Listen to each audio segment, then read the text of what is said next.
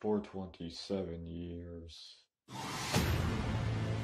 I craved you. I miss you. I've seen all of us die. It consumes us from the inside until we don't have a choice anymore. We can't let it happen again.